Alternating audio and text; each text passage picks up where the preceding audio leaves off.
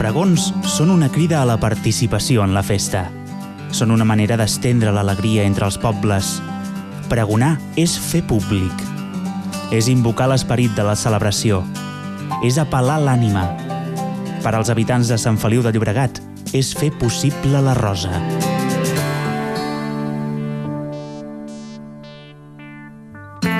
Des de l'any 1962, les exposicions de roses s'inicien amb els pregons de la rosa. Feia cinc anys que l'exposició havia assolit la categoria de nacional. Des de llavors, els pregons han estat al pòrtic de les exposicions. Primer, es feien per Sant Jordi o dies abans de la mostra, coincidint amb la presentació del cartell guanyador del concurs. Després, el mateix dia de la inauguració de l'exposició. Els perfils de les persones que pregonen són diversos. El primer pregoner és un poeta, Lluís Valerí, autor del llibre Missatge de la Rosa.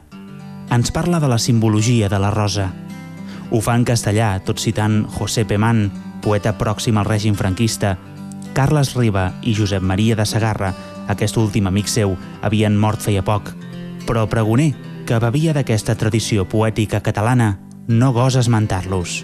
Sé que per màgica virtut de tot castell la portalada closa s'obrirà si el gipó duc una rosa. Amb tot, en els anys 60, bàsicament ens parlen les veus. Pregoners que procedeixen del món de la ràdio, veus profundes, masculines, que disserten en castellà, com les de Federico Gallo, Juan Manel Soriano i Jorge Arandes. Veus empastades, fins i tot angulades, al gust de l'època. Llavors, els habitants de Sant Feliu tenien com a referents locals les veus de Radio Juventud, emissora que va funcionar fins l'any 1967. Información local. A las 7 de esta tarde ha tenido lugar la solemne inauguración oficial de la octava Exposición Nacional de Rosas y decimocuarto concurso para aficionados. El acto inaugural ha sido retransmitido en toda su integridad por Radio Juventud de San Feliu de Llobregat desde el propio recinto del magno certamen rosalístico. Veus que ajudaven a viure en aquells anys de grisó. Alguns d'aquests pregoners els veiem més tard a la televisió, un aparell que començava a generalitzar-se en totes les cases. Des d'aquest mitjà sentíem el professor Miravitlles parlar de ciència. Ell, quan ve a Sant Feliu l'any 1977, pronuncia una nova paraula, llavors desconeguda però avui molt present en les nostres vides. Ecologia. Hi ha guionistes de programes radiofònics com Esteve Passols i José María Tavera i periodistes de ploma com Josep Tarín. El 1973, Carles Santís, periodista capdalt de la transició política, fa part del seu pregó en català i cita un poeta marcadament antifranquista, Salvador Espriu. És, però, Josep Lluís Sorroca, procedent també de la ràdio i exalcalde de Sant Just d'Esvern, qui pronuncia l'any 1976 el primer pregó íntegrament en català. Durant aquests anys llegeixen pregons homes que van contribuir directament a engrandir l'exposició de roses, com Jaime Delgado, delegat provincial del Ministeri d'Informació i Turisme, que va fer gestions per aconseguir fer-la nacional, i Josep Casassús, col·laborador de la mostra a través de l'Escola de Jardineria de Barcelona. També Noel Clarasó, autor de diversos llibres de jardineria, ens proposa l'any 1970 crear un museu per preservar les varietats de roses. Fins a mitjans dels anys 70, Sant Feliu conreava roses per al mercat, però a partir de llavors es produeix un gran canvi. Després del parèntesi d'un any sense pregó, l'any 1979, Llorenç Sans, en el primer pregó després de les primeres eleccions municipals democràtiques, evidencia que Sant Feliu continua sent Sant Feliu i els rosaristes ens han abandonat. Els blocs de pisos, l'asfalt de les carreteres, l'enrariment de l'atmosfera, en una paraula, la civilització ens els ha allunyat.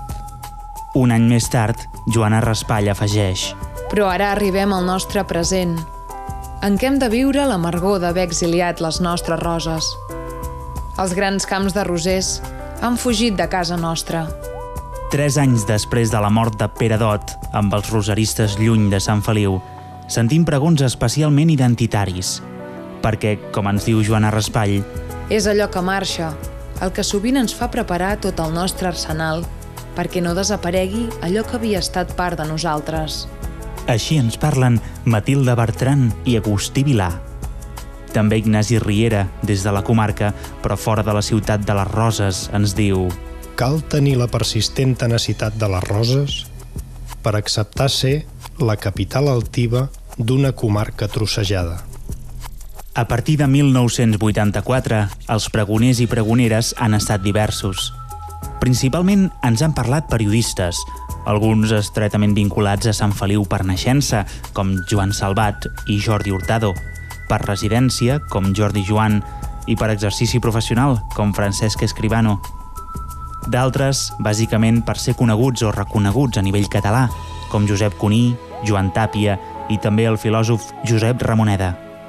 Hem tingut persones procedents de l'art, com la il·lustradora de contes Pilarín Vallès, o del món de la interpretació, com l'actor Enric Major, i la difusora de poesia Núria Candela. Des de l'àmbit de la literatura se'ns han adreçat les escriptores sanfeliuenques Maite Carranza i Núria Prades i l'autor de novel·les Carlos Peramo. D'altres, com Àlex Susanna, Vicenç Villatoro i Ramon Pla, ens han parlat des de la vinculació al Premi de Poesia Martí Dot.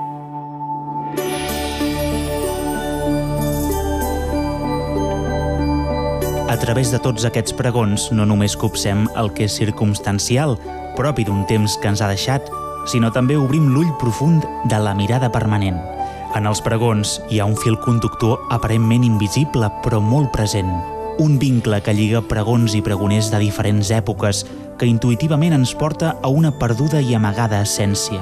Darrere les paraules hi ha sobretot símbols, obertures que fan de pont per al retrobament, per unir allò que és escindit en nosaltres i en el que ens envolta.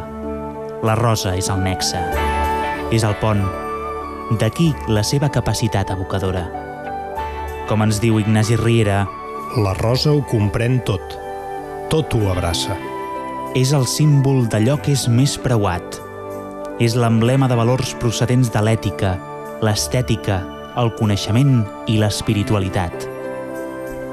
Sovint, quan els pregoners i les pregoneres parlen de la rosa, a vegades, sense adonar-se'n, ho fan de tot plegat. Ens aproximen als valors cívics propis de l'ètica, evidents en els primers pregons de la democràcia quan els pregoners són aquells homes i per primera vegada dones que enrere havien deixat anys difícils de repressió i de silenci. Quan, segons Joana Raspall, Tot semblava enfonsat i mort per a la cultura catalana. Però calia persistir amb tossuderia per fer-la sobreviure. Calia aprofitar totes les ocasions, infiltrar-se per totes les escletxes. Per això, en els programes d'aquelles triomfalistes exposicions de roses, no va mancar-hi mai la presència dels sanfeliuencs que escrivíem en la nostra llengua. d'aquest compromís amb la llengua i la cultura, present també en els pregoners de l'Alguer, Enrico Lofredo i Carlos Secchi, i especialment en les paraules del valencià Eliseu Climent, quan, a través d'un poema de Vicent Andrés Estellers, recorda l'esperit del seu poble en la nit de la dictadura. Però com una consigna, circula secretament, de mà en mà, per tot el poble, una rosa de paper.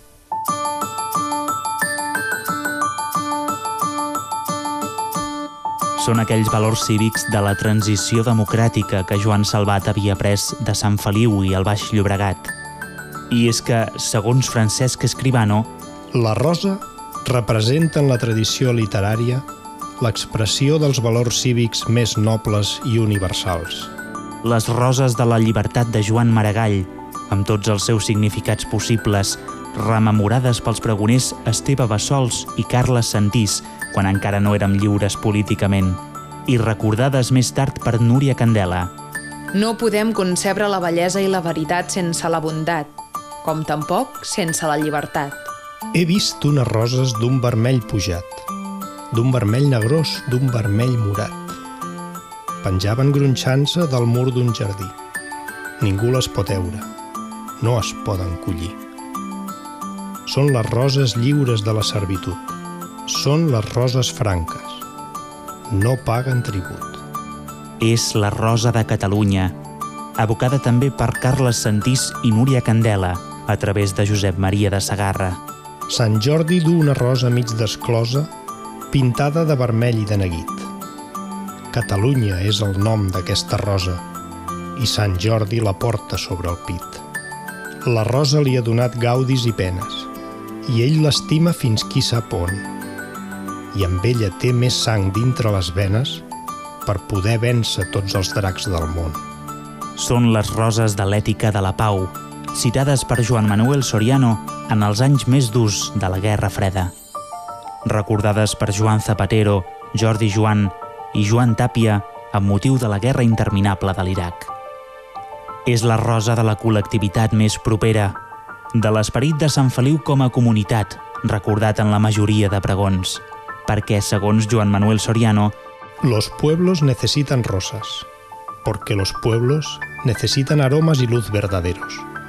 Tenéis todo cuanto pudierais desear, y aún más que todo, porque tenéis la gracia de la flor y la maravilla de la rosa. Ignasi Riera afegeix Sant Feliu de Llobregat és la capital de l'audàcia. El poble que defensa contra tot i contra tothom el dret a la contemplació, el dret a la bellesa, el culte a l'instant feliç, la salvatge veritat de la bellesa fugaç. Joan Margarit contraposa Per cada rosa de la vostra bellíssima fira, hi ha una altra rosa oculta que resplendeix sota el mateix cel de primavera del Baix Llobregat.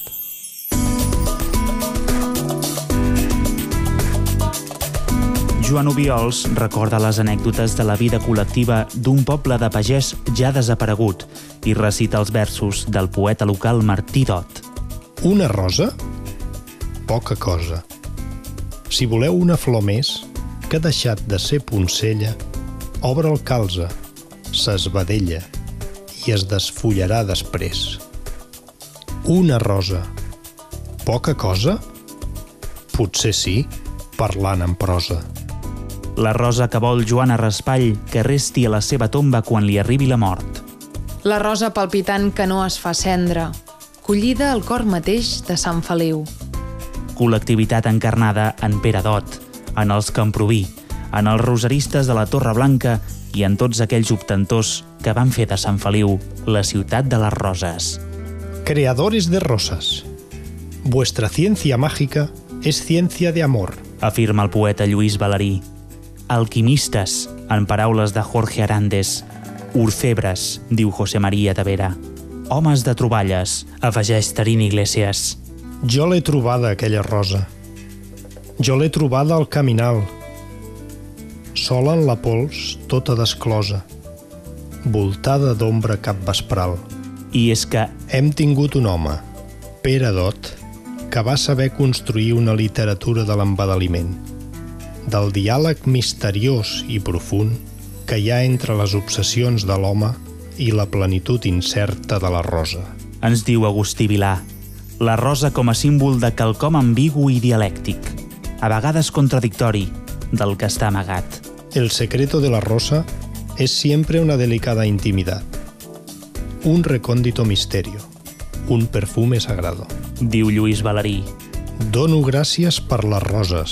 Diu el poeta Joan Margarit, i en fer-ho ens parla d'aquelles roses que visiblement l'acompanyen, de les exteriors, però també de les amagades. Les altres roses, les roses íntimes, les roses a vegades solitàries, les intenses roses d'intramurs. L'hermètic, el misteri, amb les dues formes agermanades amb les quals es manifesta, la bellesa i l'espiritualitat.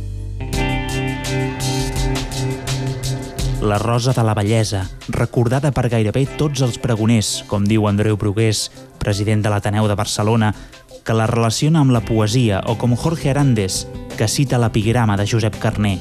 Quan besava jo la rosa, just oberta aquell matí, ella em feu tota comosa. Vols besar-me encara? Gosa! I torna-hi, que és bella cosa. I els tres dies de desclosa preferiré de punyir. Potser perquè les roses són tan boniques, és tan difícil copsar-les en un dibuix o descriure-les en un poema. afirma Pilarín Vallès. Roses efímeres, de la plenitud, que cal collir quan ens arriben, ens diu Vicenç Villatoro, citant Salvador Espriu. Solitari en la pau del jardí dels cinc arbres, he collit ja el meu temps, la rara rosa blanca. Cridat, ara entraré en les fosques estances. També La rosa mística, la que fa infinita l'albada de l'amor i que uneix la rosa al mateix Déu. segons recorda Jaime Delgado, tot citant el poeta López Picó. O bé el Dant, evocat per Matilde Bertran. El paradís és com una rosa gegantina, de nou cercles de pètals o grades beatífiques.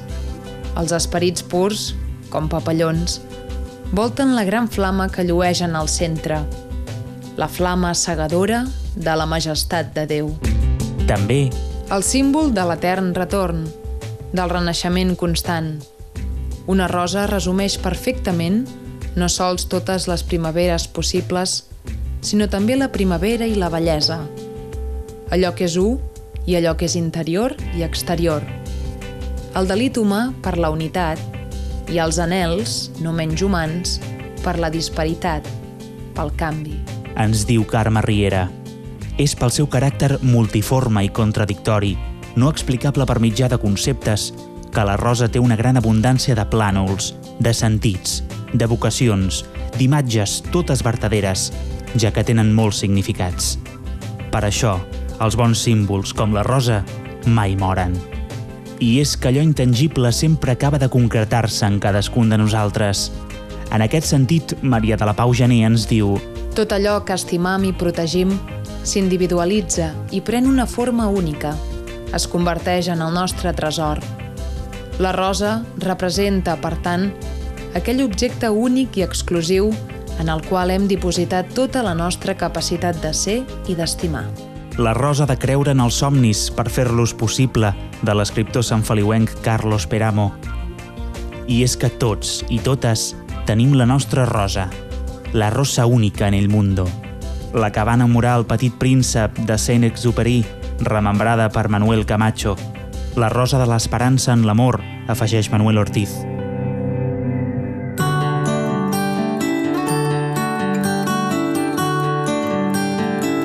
Els pregoners i pregoneres ens han regalat paraules per desvetllar les nostres roses, per reconèixer les roses personals, les més pròpies, les úniques, per despertar i transmetre les roses compartides, les roses dels rosers de Sant Feliu, per recordar que hem de plantar roses, que hem de guarir-les, que hem d'exposar-les, per fer possible la bellesa, els valors, la poesia, per fer possible la rosa. Més la rosa és encara possible. Pura, perfecta, desclosa. Com un món nou, recreat sense mal. I el cor que cerca un camí i un senyal veu l'esperança a través de la rosa.